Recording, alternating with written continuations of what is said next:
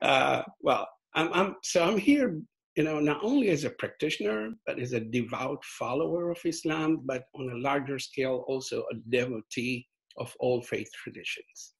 The the way I see it is the Buddha put it best that he said, if you want to seek water, you don't dig six one foot wells, you dig one six foot well. So Islam happens to be my one six foot well, but we all draw from the same water. So, uh, just in case you all are not aware, Islam is not a, an isolated faith, it's a continuation of the monotheistic traditions of the Abrahamic faiths of Judaism and Christianity, and therefore it is seen as a succession in the prophetic traditions. And what it does is it leans on and relies on the existing traditions of, of Christianity and Judaism, including in the mystical traditions from those two faiths, and, and adds its own to it. So I'm not sure how much you guys know, but there are some very important, thriving communities within the Judaic and Christian traditions that delve into mysticism, the Kabbalah, the Christian Orthodox, the Gregorian orders, the Franciscan orders. So this is a continuation of that. According to Islam, life as in the prototype Adam um, was made of, Adam was a clump of clay into which God breathed his spirit. The word in Arabic is ruh. So he breathed his spirit and then he became a human being. So that means it's a combination of both the, the physical aspect, the, the, the, the mold of clay, and then the spiritual aspect, the spirit of God that was breathed into him. So when we come to worship, there is both the need for the physical worship and the spiritual worship, right? So generally speaking, across all faith traditions, you'll, you'll see two type of traditions in terms of reaching the divine, right? When we pray, we are talking to God. And when we read the scriptures, God is talking to us through the scriptures. But from that, there seems to be a spiritual direct connection that seems to be absent in those two usual those two avenues of connecting with God. So in in Islam, the, the, there are the five ritual prayers, and they are spread across the the course of the day. We call them salat in Arabic and namaz uh, in Urdu and, and in Persian. And before, so I sent that article to you folks. Hopefully, you have some time to to view it. Before we get to the uh, the, the prayer itself, it actually starts off with a call to prayer. It's called the Adhan. So let's play a clip of the azan. You'll see some, some interesting things in it. Go ahead. Okay. So, oh, wait, wait, wait, wait, wait. Um, I gotta do this. Clip one. Yeah.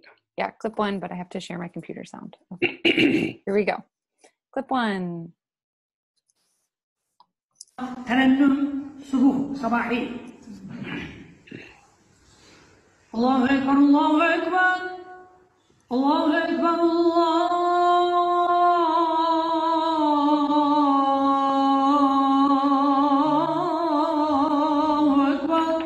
this is the maqam of tarannum. It's called sabahi. It's to keep you awake.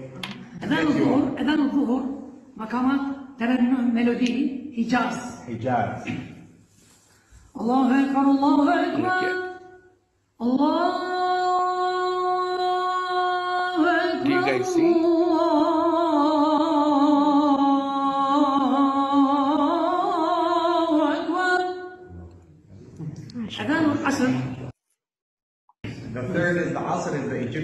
Egyptian style. الله أكبر الله أكبر الله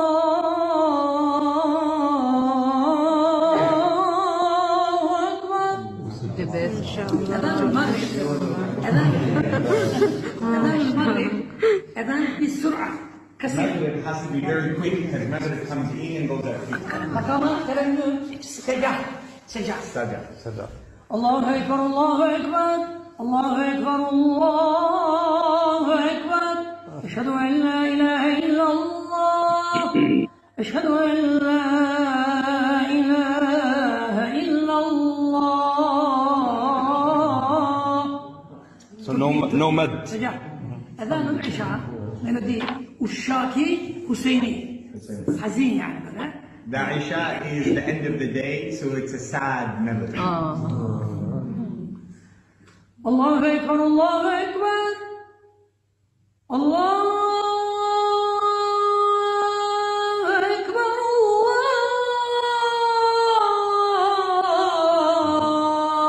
الله أكبر ما شاء الله إن شاء الله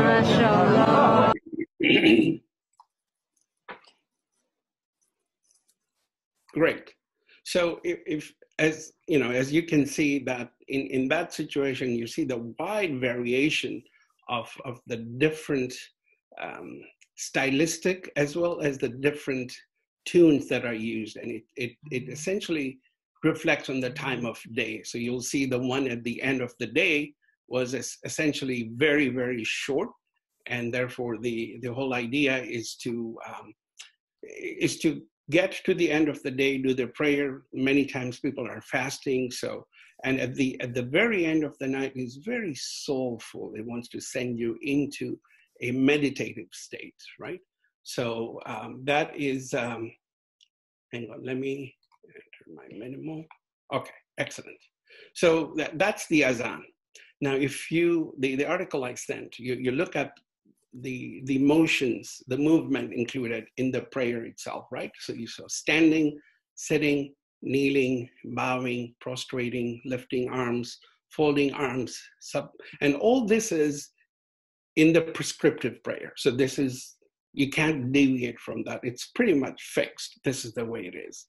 In addition to that, we also have uh, supplicatory prayers. And many, many times people use the rosary, just like the one in, in the Catholic tradition. And so the rosary has 99 beads, and we take the name of Allah, the name of God, and all these are praiseworthy names, right? And then we meditate on each one of them. So now let's get through what happens after the prayer is over as a human being, you still feel there's a need to connect to God beyond the formulaic way. And now I'm going to give you a little bit of history so you understand. I'm kind of lay, give you the lay of the landscape with, with, with the Muslim community. So right at the end of uh, at the end of the life of the Holy Prophet in 632 AD, as he passed away, there was a immediate break in the community and this was all about succession to the prophet.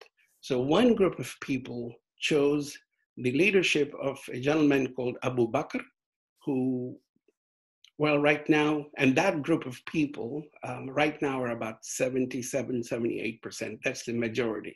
So they are known as the Sunni uh, Muslims, and they are the ones who chose a leader based on the election of, of, of the community. Of course, it was as a sign of the times. They were all men, and they were all no, no women were included, and also it was just a group of men. Now there's another group of people who are now known as the Shia, who actually went back to the life of the Prophet, and on various occasions the Holy Prophet had indicated and appointed his cousin and his son-in-law, whose name is Hazrat Ali. So in the traditions that we see of the Sufis, the reason I tell you about this, the course is not about the splits in Islam, but it's about why the name of Hazrat Ali will come up over and over again in a lot of these meditation chants and the qawwalis and number of the, uh, the musical traditions of the Sufis. So the Sufis actually accept Hazrat Ali as the successor to the Holy Prophet, not only in a physical sense, of, of in charge of the community in a secular sense, but also as the inheritor of the spiritual authority of the Holy Prophet. So the Holy Prophet, based on Islam, when he started, the first message he received, but again, Islam is not revealed at this point, he's sitting in meditation on top of a little hill outside of Mecca in a cave, deep in meditation. So the first connection is a, is a spiritual connection. And then the angel Gabriel comes and reveals the revelation, which we call the Holy Quran, over the course of 23 years. So the majority, the Sunni, they uh, frown upon and disallow the validity of music in their traditions. And the way they, they see it is that it's seen as a departure from the original way of worshiping. And they call it bid'ah, which means innovation, and therefore it is invalidated. The Shia and the Sufis do accept music, and the Sufis are very, very particular in, in saying that there is a, a spiritual path that we have to chart beyond the physical to connect with God. Again, remember we talked about human being being made of the, the spirit and the body. So the prayers are for the body and the meditation is for the spirit.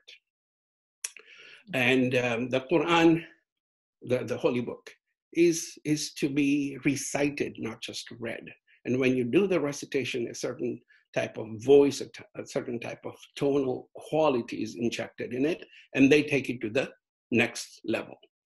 So let me just give you some background that this, the spiritual search um, is right under the big banner of Sufism. Because what Sufi means is actually means wool. And the people who kind of preferred the ascetic life, who wanted to concentrate more on the spiritual search rather than the physical pursuits, they tended to be very simple. They tended to be at uh, quite poor, and they, they dressed in the in the lowest garment available there, which was wool, and therefore the word wool, which is suf, was um, kind of it's like a blanket term for those who choose that path. So they're known as the Sufis. Now it was always there, but it was kind of underground. Around the eighth or ninth century, again, remember Islam, uh, the Holy Prophet died in 632. So it took about a couple of hundred years for, for this uh, movement to actually come to the surface. So around eight or nine century it emerged from the from the from the underground. I do I do want to make a point. Sufism is not a sect. It's not independent. I mean, it's not a, a split from from the other partitions. It is in addition to. So there are Sunnis who are Sufis, there are Shias who are Sufis, the mosque that I go to, there are Hindus and there are Jews who actually are Sufis, meaning that they have their own faith identity, but they also want to add to that by connecting from soul to soul. And this is a vehicle they find convenient or something that makes sense to them. Now, the, the Sufi orders, so they're not sects, they're known as tariqas, and it's like an order. It's just a way of interpret how to connect with God, right? They're, they're numerous and they're very rich and quite complex in their own way. And they go from like Mauritania to China, from South Africa to Bosnia. Just because of time constraints, we're just going to focus on two, right? The one in, in Turkey, uh, known as the Mavlavi, and then the one in, in the Indo-Pak Bangladesh area called the Qawwali tradition. So generally speaking, in Sufi tradition, when you express love to your spiritual master. So there, there are two types of loves, right? The one is called um, ishq. Ishq is love. Ishq majazi, which is the love for a human being. Now that could be the prophet, that could be the saints, that could be even for a human being. There, there is love and it can be expressed in these mystical terms. Uh, you could be expressing love for your for your child or for your spouse, and for those of us adventurous enough, maybe for the spouses of somebody else. No, I'm just kidding. Um, the, so that's ishke, um, majazi, the, the, the, expression of love for a human being. It could be your master, right? The second one is called ishke hakiki, which means love for the Lord. So it's going beyond the physical boundaries, and now you're connecting to your creator. And then since the creator is somewhat unreachable in physical terms, now you, you're unshackling yourself. You're saying that I am going to go in search of my Lord and I will use every tool necessary, be it movement, be it sound, be it whirling, be it meditation, and you're just trying to use all the senses that God has given you to connect to God. so now let's give a short definition, right? So Sufism, it's essentially a Muslim movement whose followers seek to find divine truth and love through the direct encounter with God. And different practices focusing on self control and both psychological and mystical insights, as well as a loss of self, giving up on yourself and just dedicating yourself to truth, is the ultimate goal of mystical union with a God. The basic Sufi teaching is there is no divinity but one God. And that's the only true reality. Everything else, including ourselves, are just acts. And the expression of his mind through his will and the attachment to the illusion, those world is considered an illusion and, and, and a bloating of our own ego, is to be minimized and the spirit is to be given, given more focus and to connect with God. So the Sufi movement, as I said, they're they're not sects, but they're considered fraternal orders in which leaders train and assist disciples in the mastery of the, of the philosophy or the philosophical principles of that order and its ritual practices, right? So the value of some of these orders is so incredible that they kind of break through their geographical boundaries and go into the larger world. So let's look at, look at the first one, which is the Mevlevi order in, in Turkey. Um, the, it's named after its founder, uh, Muhammad Jalaluddin Muhammad Balkhi, was from, originally from the Iran, Afghanistan area, settled into a part of uh, Turkey, which at that time was a province of the Roman Empire. That's why the place was called Rum. And this is in 1207, and he died in 1273. So he's known Rumi because he's from the place called Rum. And it is based on, now he was a Sunni, very well read. He was a, uh, uh, a professor of law, and he was a brilliant guy. It's like in his early, mid 20s, he was already a professor. His father was a learned, learned um, author and scholar, and so he, he inherited that. And he was one day walking in the gold market. And again, you know, he's deeply in, in the trance, kind of thinking of God, and he hears the goldsmith tapping his um, his instrument to to to to craft whatever item he was making. And and Rumi hears, we'll just call him Rumi. He hears a certain rhythm, a certain sound, a certain resonance, and he says, "Oh wow, this is really cool. I, I feel that I, uh, this is speaking to me. And so he starts whirling just a bit and he says, wow, okay, I think I have something here. And then, you know, he says that I look at the smallest things and they're whirling and praying. And I look at the biggest things like the galaxies and the solar system and the planets, and they're whirling and, and praying to our creator. So I just join them, right? So he takes the most basic thing, right? From our subatomic level.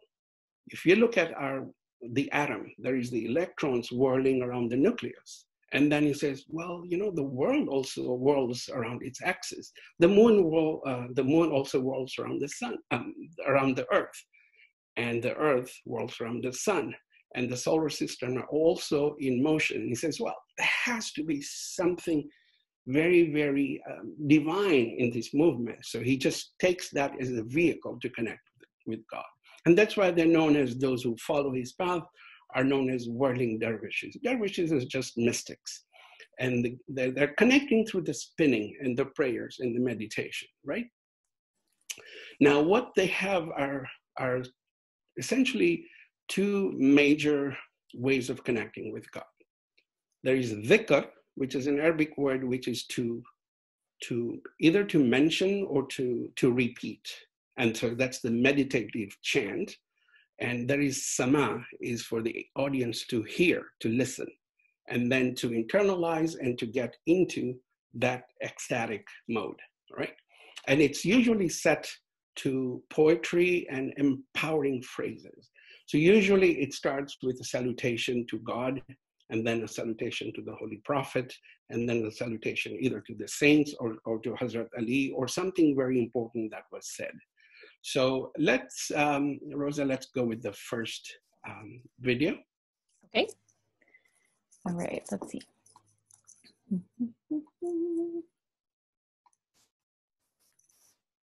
Not this one though. Oh, second video, The excuse me. second video. Yep, this one, right? Yep. All right, here we go. values in the hearts and minds of millions throughout the world.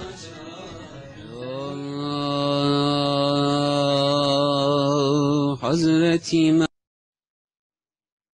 Mevlevi ritual dance, or Sema, consists of several stages with different meanings. The first stage, Nati Sharif, is a eulogy to the messenger of Islam and all prophets before him who represent love. To praise them is to acknowledge and praise God Almighty, who created and sent them to humanity as a mercy. This eulogy is followed by a drumbeat on the kudum, symbolizing the divine command, be, for the creation of the entire universe.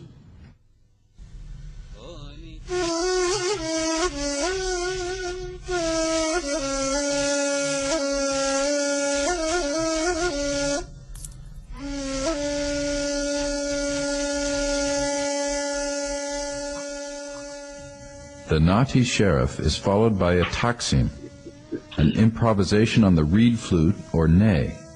This expresses the divine breath which gives life to everything.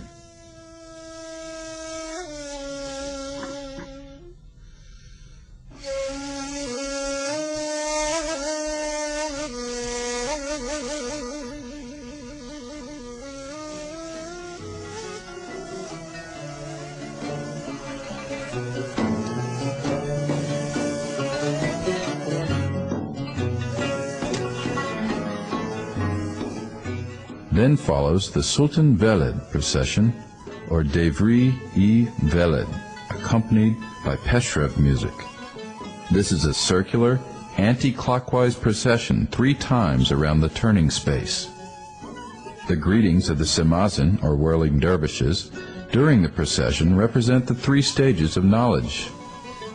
Ilmal Yakin, received knowledge gained from others or through study. Ain al Yakin, knowing by seeing or observing for oneself, and Hak al Yakin, knowledge gained through direct experience, gnosis.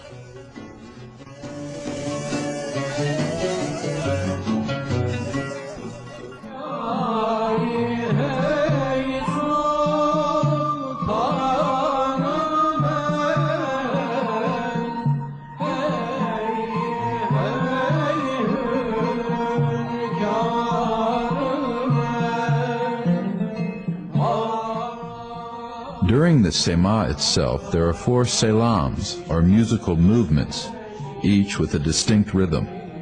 At the beginning, during, and close of each salam, the Semazin testify to God's existence, unity, majesty, and power.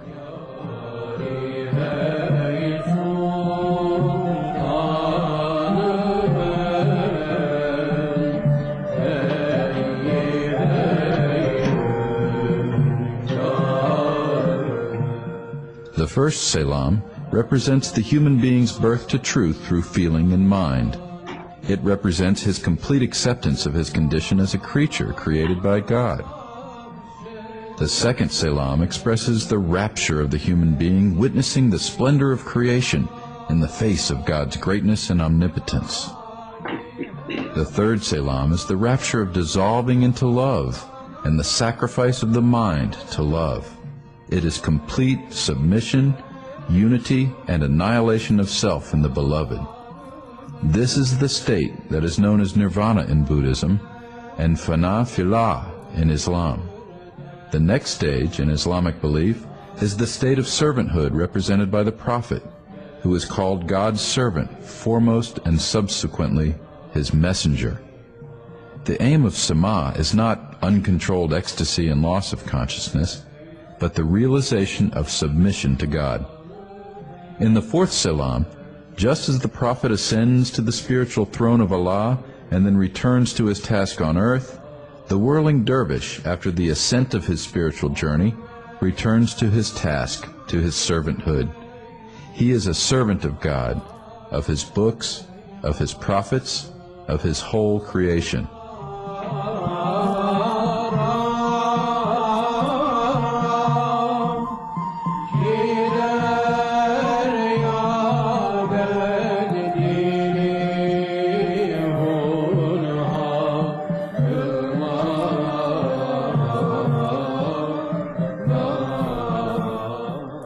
This is followed by a recitation from the Quran. لا يكلف الله نفسا إلا وسعها لها ما كسبت وعليها ما اكتسبت The surah or chapter Mary on the miraculous birth of Jesus and his mission. At the end, by the salute, the dervish demonstrates again the number one in his appearance, arms consciously and humbly crossed, and by this, the unity of God. The ceremony ends with a prayer for the peace of the souls of all the prophets and believers. After the completion of the Sama, all the dervishes retire silently to their rooms for meditation and further remembrance of God.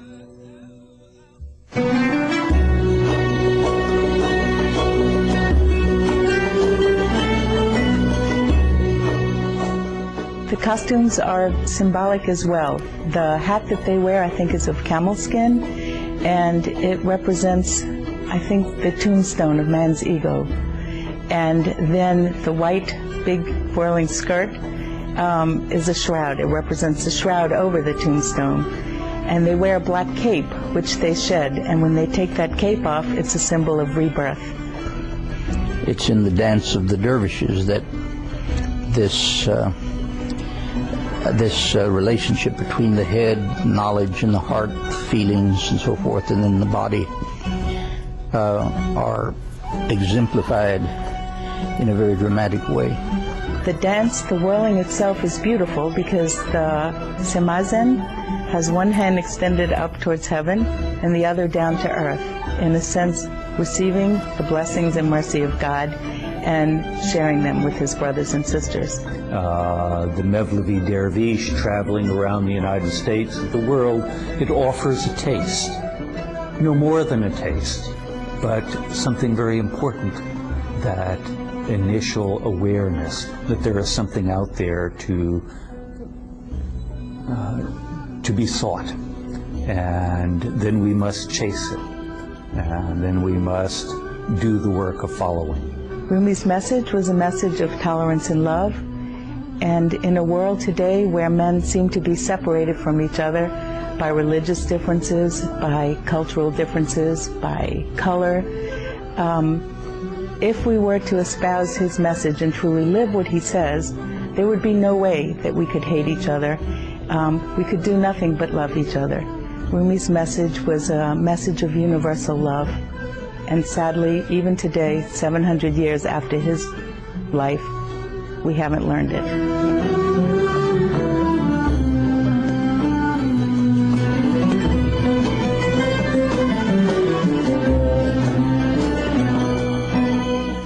Rumi's life and works show us that it is not faith, belief, and religion which cause hatred, conflict, and violence, but the sins of hatred and greed and other symptoms of the unrestrained ego.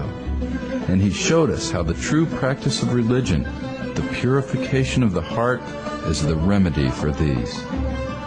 In our days, his life and works are a reminder to all that the clash of civilizations is far from inevitable, and they show us how to derive hope, renewal, and reconciliation rather than despair, fear, and enmity from our differences. He invites us to call constantly to mind that we are all one. From God we come, and to God we will return. that we worship the same God who's one. And as I learn more about Islam traditions and theology, I am convinced that we're much closer than we are apart.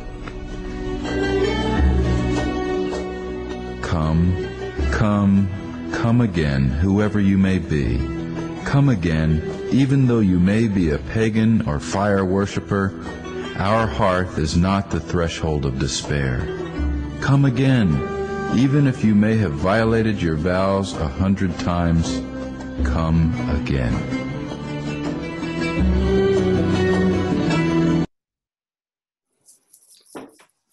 Uh, let's play the next one as well.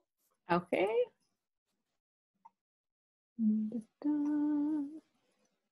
This one is about five minutes long. Correct. Okay, here we go. To the beginning.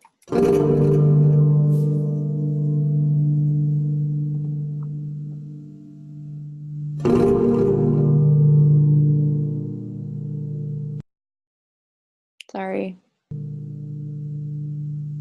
うん。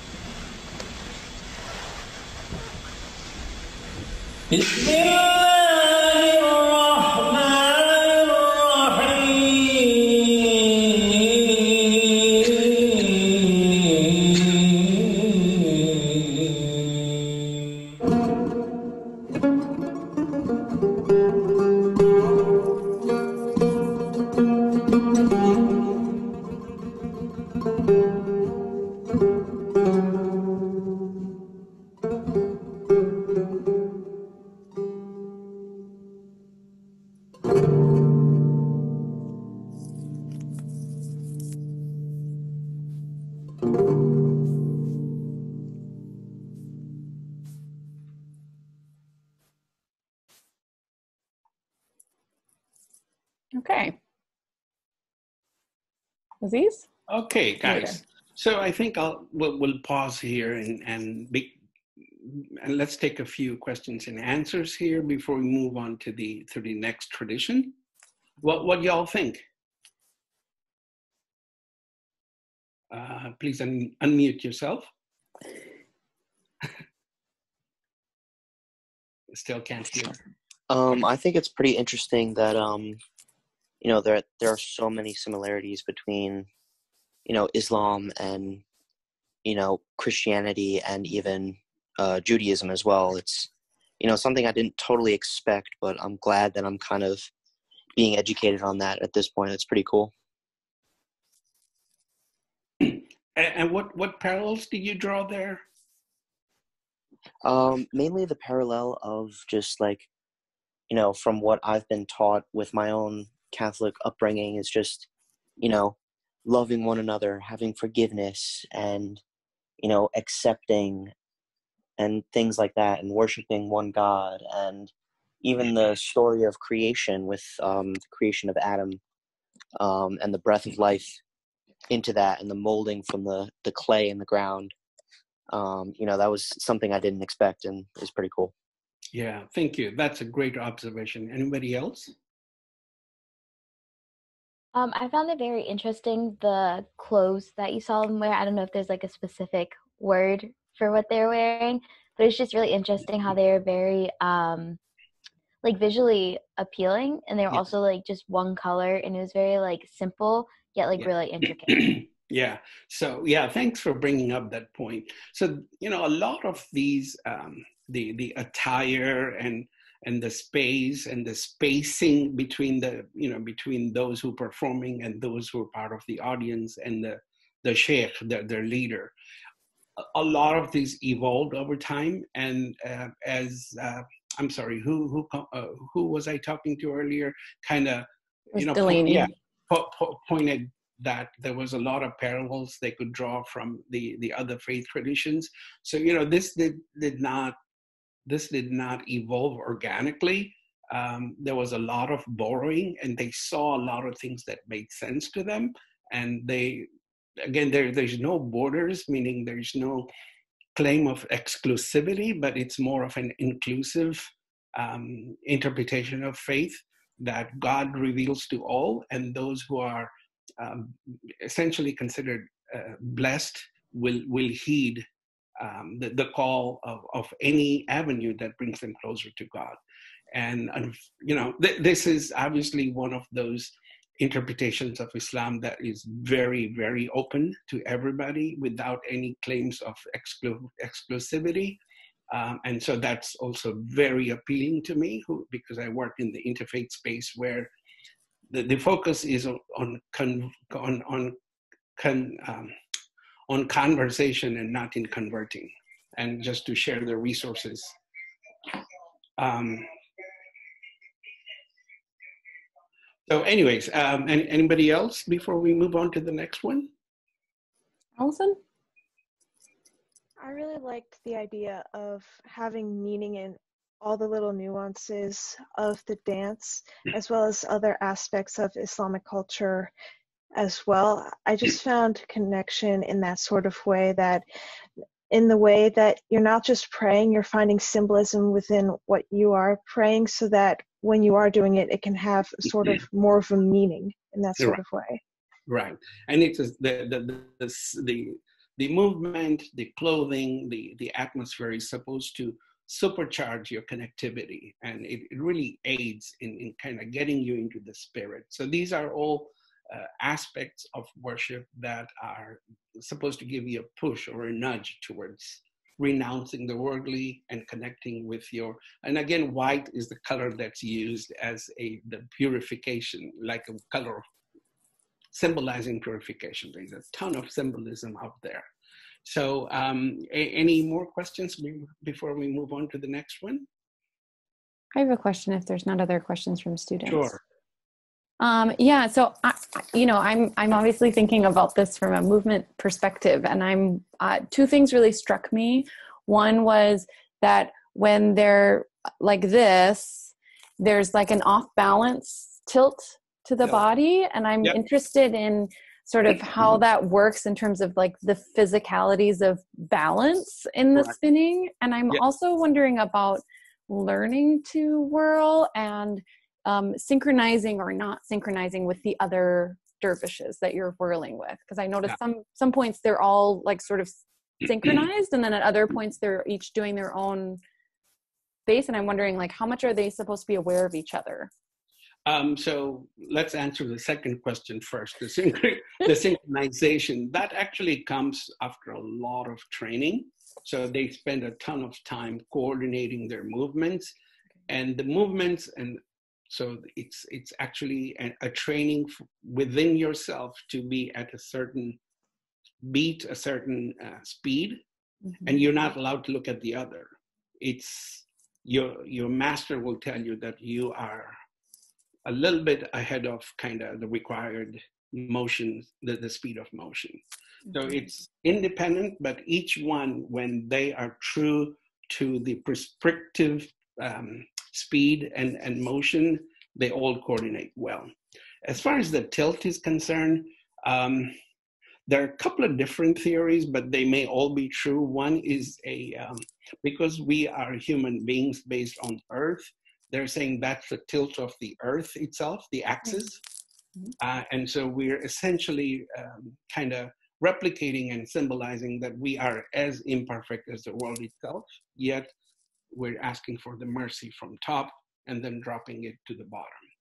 The second one is that as we are imperfect, we we do not stand straight. That is kind of seen as a as a sign of um, being equal to the perfection of God in posture. So you're slightly off, um, and I I think for those who are dancers, I think it actually helps to be slightly off with with with, with rotation.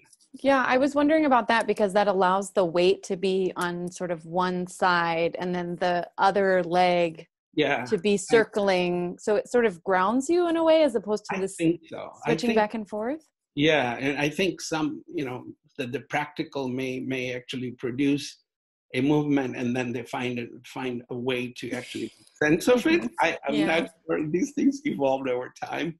Uh, there is a lady, um, Michela Malozzi. Miche- Michela Okay. Malozzi, I think her name is. She's a world traveler. She's a dancer. Hmm. She goes to different parts of the world and learn how to dance with different communities. Y- y'all should check her out. Yeah. She's got her videos all over the place. We just didn't have time in today's lecture. And she gives a lot more. She went to Morocco and she danced with three different Sufi groups over there, including women. And it's like the only time I've seen her cry because she was so moved by, by the sincerity and how she felt connected. But that's something y'all can do on the side. Um, maybe we can now move on to the next one. Sure, sure, sure. Okay, the next, great. the qawwali. Yes. so, um, okay, so let's go to the Qawwali side, right? Okay. So, you know, the excuse me, I need to get out of, uh, oh, here we go. You know what? Let, let's start with the video and then I'll, I'll, I'll fill in. Are you um, sure? Yeah, let's do that. Actually, it, th- this will be a very good uh, foundational uh, video. Okay. Here we go. What is Qawwali?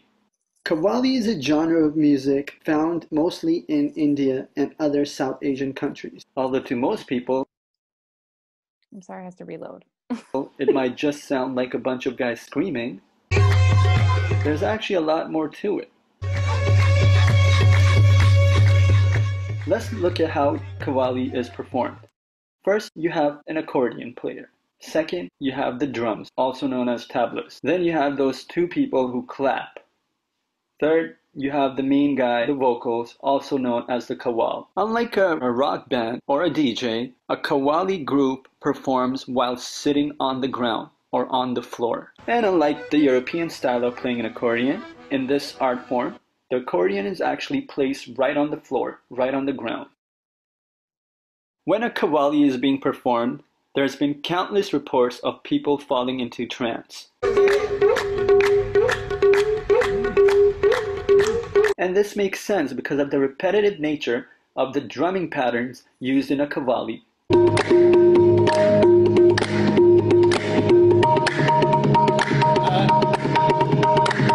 This was further studied and proven by Gilbert Rouget in his book Music in Trance, where he studied African tribal dancers and discovered that they too, a lot of them actually, got into some crazy trance modes. You might not see Justin Bieber busting out any qawwali soon, but a lot of Western singers and Hollywood have worked with qawwali singers on a regular basis. So if you ever want to become a qawwal, make sure that you have 20 years of your life put away. That's exactly how long it took for this famous Canadian qawwali singer.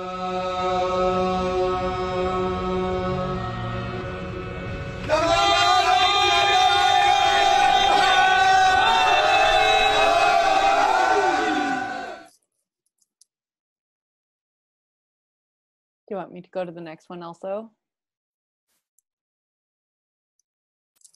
Hmm? Yes, to- let's do that. Yes? Yeah. Okay, here we go.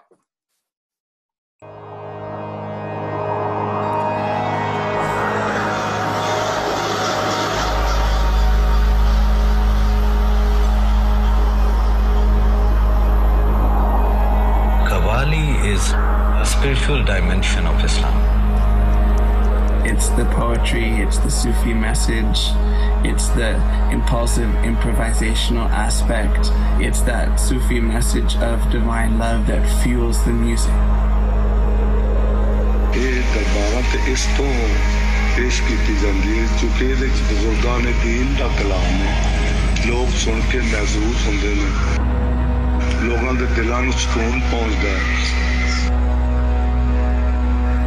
in so many ways, the Qawwal is expressing what we feel.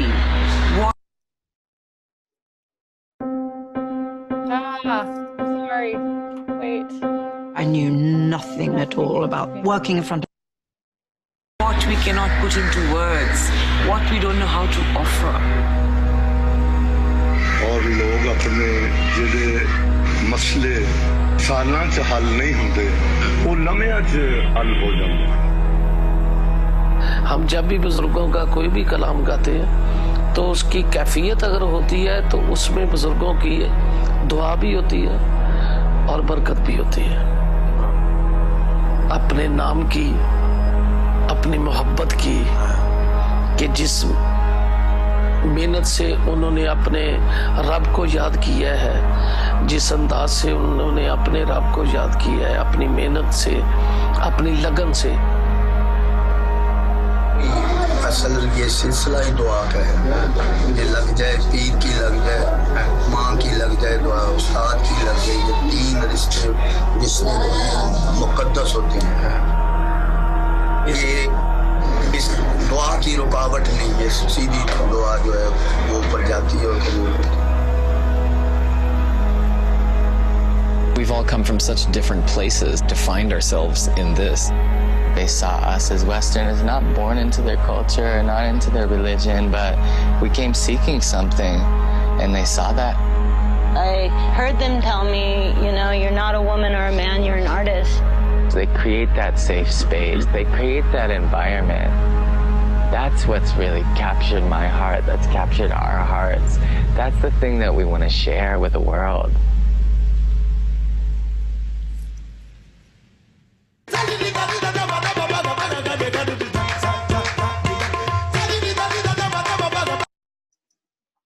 Keep going.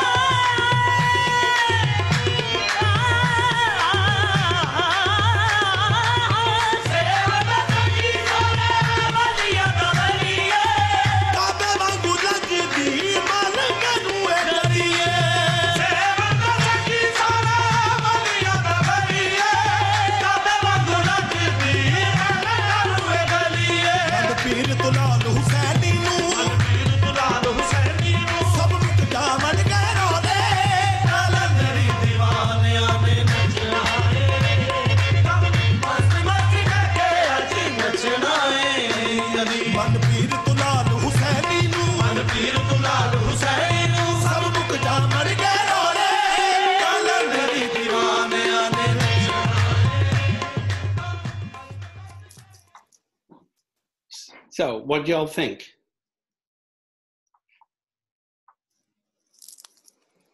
What do you guys think of this?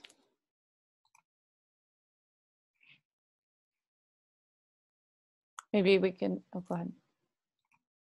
Maybe we can start with how is, how, what sorts Sure. of differences are you noticing between the Qawwali and the whirling dervishes that we just looked at? Right. So actually, I'm sorry, I misspoke. Let me go and give you some some kind of background to to kind of paint the landscape, right?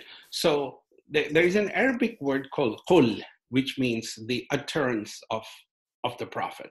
So the first command that came down essentially told the prophet to utter some of the verses that are that are iconic in in Islam, right? And it says, "Read, read in the name of thy Lord." So qul.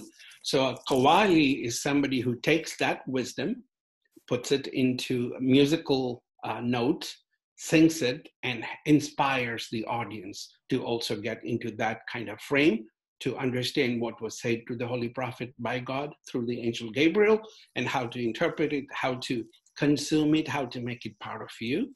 And so what they do is, is essentially repeat. There is a lot of repetition. You take a word, introduce it, and usually it's like a heavy loaded word like God or uh, the, the richness of, of, the, of the revelation, and then they repeat it and they kind of fling it in the air and they tease it out, and it kind of forces you to meditate on that word or that sentence and then to try to get deeper deeper meaning it's like a piece of chewing gum you keep on chewing chewing at it to get all the juices out one thing i have to say is that the existing culture of india at that time which was primarily buddhist and hindu gave a ton of material in terms of the structure of, of, of the raga, the, the, the, the voices, the, the, the tunes, and the tonality. And then there are some rules that actually I don't understand because I'm not a musician, but I sing myself. So intuitively, I know what it is, but it's a beautiful, rich culture. And there are some iconic people that I should mention just because they were so huge in, in contributing to the richness of the Qawwali um, tradition. And there are Amir Khusro, who was a great uh, master of one of the orders called the Chishti order, C H I S T Y. So when you have some time, look up Amir Khusro and the poetry that he comes up with. It's just outstanding. And what he did was he took the wisdom that came from the Arabic Turkic, Turkish tradition which then as it come towards the Indo-Pakistani area of India, Pakistan, Bangladesh, that, that area, it, it passes through Persian and then uh, touches on the Indian languages. And what he did was he fused all of that together. So in one sentence, you'll have Arabic, Persian, Turkish, uh, Hindi, a fusion of that all. And it just, it is such a great buffet that as, as a practitioner, I just love it. And so around the late 13th century, um, this tradition really took root. And again, they also use the word sama, which is to listen, and then the, the audience. So this is something different with Qawwali. The audience is as important as the singers.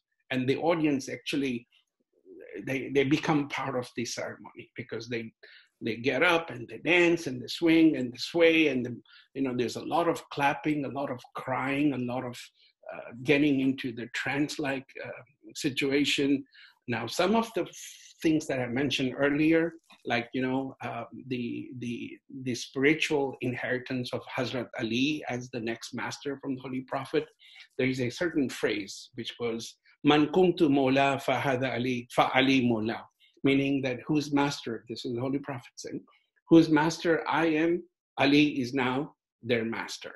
then there is just the praising of Ali, and it says, Ali Mola, Ali Mola, Ali Mola, Ali Mola, that Ali is the Lord. And then there is another one, and you'll hear them all because I'm, there's going to be the next video. La fatah ila Ali la Zulfiqar. That there is no ali is the champion of, of helping you unburden all your burdens so there is a number of different prayers that are infused in this qawwali music right so and then they are sung at mazhar mazhar is a shrine shrine to those who are uh, deemed to be icons, are, are deemed to be um, very valuable saints to this movement. So, in there, where they're buried, a mosque is created and a huge compound is there, and people go to pray and to sing the uh, praises. A lot of people. Um, so now I'm now I'm going to kind of explain the space itself. It'll be very well fragmented, uh, fragmented, fragranced. So there's going to be a lot of perfume and flowers and a lot of bright, rich silk clothes, which are then given to the poor who. So if you go to any of these mazars, any of these uh, shrines, there'll be a whole ton of uh, beggars and, and poor people outside and they're all fed and taken care of and a lot of charities given so it's it's a meeting place both to to give and take and to take care of each other but also to spiritually uplift and recharge. Um, i think we before we take q&a um, how about we play that last video and then we'll jump into q&a you want to say anything about the last video just to oh yeah. so the video that's coming up is to me the most important part of sufi worship because of its focus on connecting to the divine without any human boundaries, without any superiorities, only through this particular passage can you get to God. Sorry. I'm, sorry. Like, who's getting a call? I'm, I'm part of FEMA, and just because of the crisis, uh, there's a number of people that fall under my kind of I have to report to FEMA about their health and stuff, but I'll take care of that later. Um, so, one thing that traditional Sufis, um, it has not been a very well, it's been a welcome place for, for women to be part of this ceremony, but not as those leading the singing, not leading the prayers, not leading the, the worship part of it. In the last few decades, that barrier has been broken.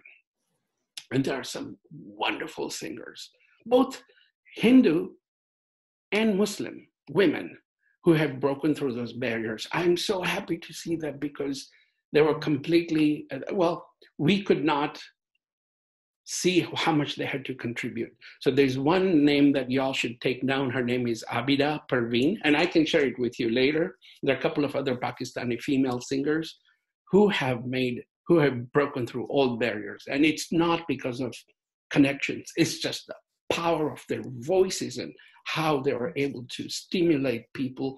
Um, so the, the video we're about to see is to me, if I have to paint a picture of what our world and our tribal lines should look like and our, our, our relationship, it is a performance that was hosted at a church sung by a Hindu singer with artists who are both from who are from the Hindu, Muslim, uh, Sikh, Christian, and atheist background. All together, produce they produce this this particular event that we're going to share with y'all, and it it essentially takes everything. There's music, there's motion, there's poetry.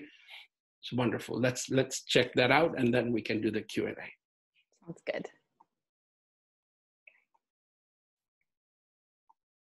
So we're going to start in just like two minutes in. There's a long sort of introductory period. So we're going to start here. They'll already be going. Hopefully, it won't have to reload on me again.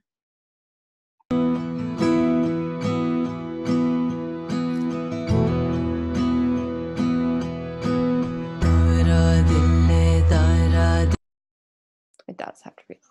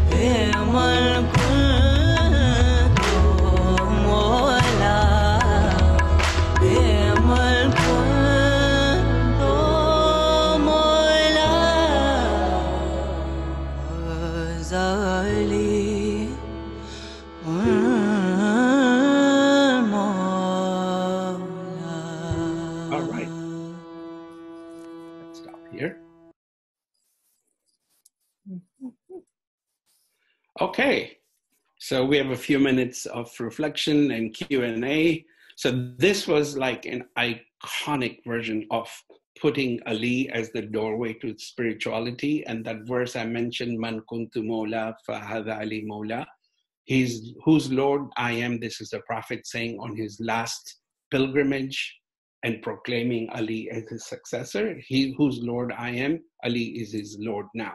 And the word is Mola. Mola is various gradations of Lord, meaning it could be your friend, your elder, your spiritual guide. It's it's it's a very superlative word. But anyway, so obviously the, the mainstream uh, orthodoxy does not accept this at all. So this is still I I would say probably about one third of the Muslim world um, is is within this tradition. So, okay, let's have some questions. Unless you have to run across another room to attend another class. Or common. Oh, go ahead. Oh, um, is there ever a time that they wouldn't wear white, or is it always white? mostly white. Um, th- there are certain um, performances where white is not worn, but it's usually um, more of a brighter color. And again, it's just supposed to be an external reflection of your internal state. And white is always an aspirational color. And I think that's pretty much true in most traditions. So yeah, it, generally speaking, it is white. But if you see some of the more orchestrated, like worldwide events, you'll see at at a um, at a global stage, they they they they they endo- they they take care. Um, I mean, they they take privileges with with more brighter and um, uh, festive colors. So, what do y'all think of the performance itself? The movement, the music, the the, the vocals. Um, See I how really we went like through the gyrations. Brandon? Okay, I really liked the lady singing. I was like, okay, like she's really singing her whole heart out, and I was like feeling it over here. Um, I also like like like this like how it was like I'm not I don't want to say contemporary, but like like they added like like with the violins and the strings, it added different like all the rest of the other ones. Right. There, there was some fusion. Hey, I remember you.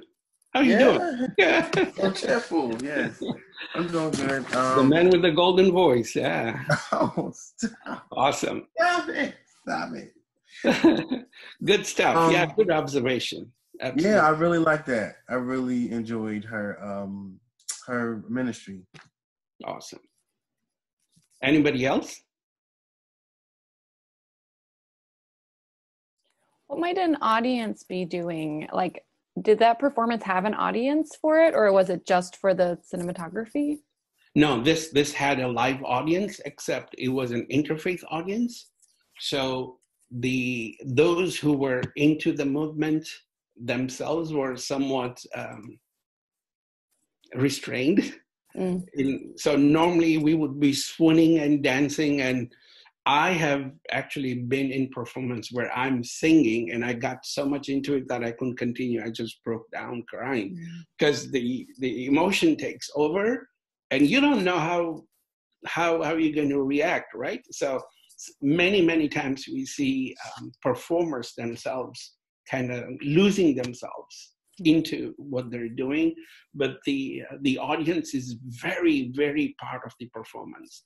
And usually they're very close. I think this one they had some distance because it was a pretty decent sized church. But i just love the the church environment because of of the you know the way the structure is the, the, the sound kind of vibrates and bounces back and it was just so gorgeous. Um yeah but you know a lot of the participants i mean a lot of the artists themselves were not muslims so we don't i can't i can't i I can't guess what their level of devotion was but a lot of them were really into it mm-hmm. Other comments or thoughts? Yeah. Yeah, so in it was like the first video that we had seen. Um, it looked like in certain parts, I don't. It was like I want to say it was money. Basically, is what it looked like. There was some sort of uh, money aspect or things like that. So is it? Um, was that part of the donational aspect, or is it like a street performance type aspect of donation? Great question. So when it's done at a shrine, the the performers are essentially the doorway through which the the appreciation of the audience and the and and those who are part of it is is kind of channeled. What they do with that money usually is to pay for the expenses. So sometimes, you know, in, in small villages, we'll have artists who come from other villages um, and you know they may have to spend the night over so the custodians uh, essentially collect that money pay for all the expenses and then they depending some some some artists actually do this as a living for a living rather. So they have to have some some degree of compensation but most do not take anything. They'll take like a symbolic dollar or something. A lot of it is even if taken given away to to the beggars and the orphans. There are a lot of orphans there. And especially in war ravaged areas you'll find people with you know limbs missing and a lot of children who are who just don't have enough and so there is and you know another faith is the sikh religion s-i-k-h they have they have daily feeding sessions and nobody is denied regardless of your faith. It's all vegetarian food but they also have something like this tradition of singing uh, you know to the to the praise of the lord. There is a lot of commonality but back to your question about money. Yes most most artists don't take money as a um, as as as a way to earn a living, unless that's all they do. But most of them are there just to express and to to to give thanks to the to the skill that God has bestowed them with, which is their voice or their um, mastery on on any of the uh, instruments. So yeah, good question. Any other questions? General questions?